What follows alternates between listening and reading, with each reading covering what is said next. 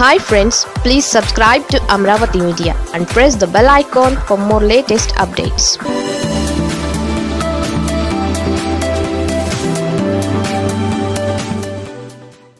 జాతీయ మీడియా ఎలుగెత్తింది.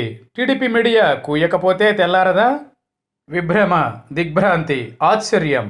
దేశ చరిత్రలో మొదటిసారి ఒక రాష్ట్ర ముఖ్యమంత్రి దేశ అత్యున్నత న్యాయస్థానంలోని ఓ న్యాయమూర్తిపై ఆరోపణలు. రాష్ట్ర ఉన్నత న్యాయస్థానంపై నిందలతో రెండు వ్యవస్థల నడుమ ఘర్షణకు తెరతీస్తే అది వార్తే కాకుండా పోయింది.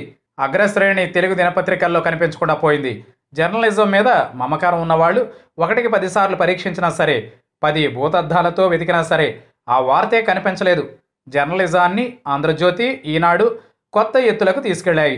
కొత్త ప్రమాణాలను నెలకొల్పాయి. Never before ever after yellow media నిర్వాకాలు పైత్యాలు తెలుగు ప్రజలకు కొత్తేమీ కాదు. తమకు పడని నాయకులపై ఏ స్థాయిలో దాడి చేస్తాయో అందరికీ తెలుసు. కొరకరాని కొయ్య జగన్ అంటే ఆ మీడియాకు ఎక్కడెక్కడో కాలిపోతుందనేది బహిరంగమే. ఎన్నెన్ని ఉద్దేశపూర్వక కథనాలతో విరుచుకుపడుతుందో కూడా తెలుసు.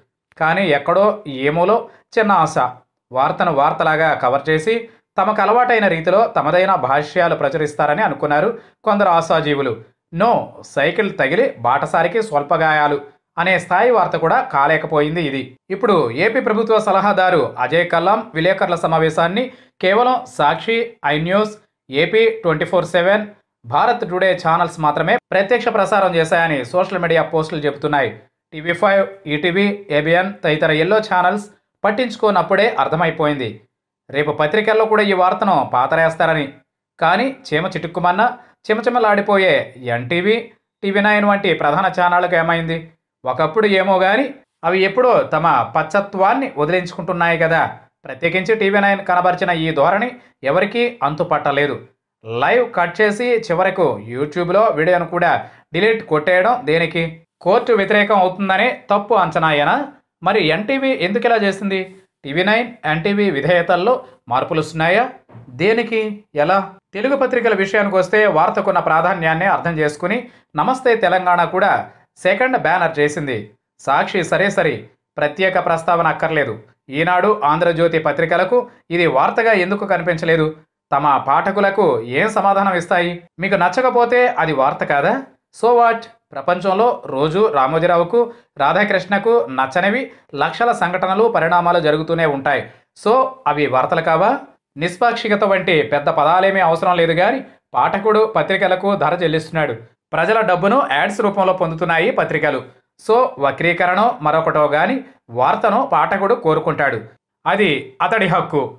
పత్రికల ఓనర్లకు స్పాన్సర్లకు నచ్చినా నచ్చకపోయినా బేసిక్ వార్తను కవర్ చేయడం పత్రికల కర్తవ్యం.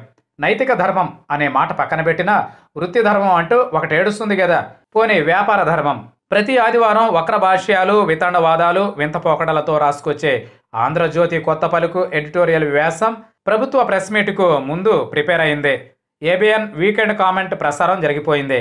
కనీసం కొత్త పలుకు అప్డేట్ ఏమీ చేయలేదు. ఆయా పత్రికల సైట్లు కూడా మౌనాన్ని ఆశ్రయించాయి. వీళ్ళేనా? తెల్లారు లేస్తే విశ్వసనీయత జర్నలిజం ప్రమాణాలని చెవుల ముందు డీజేలు మోగిస్తారు.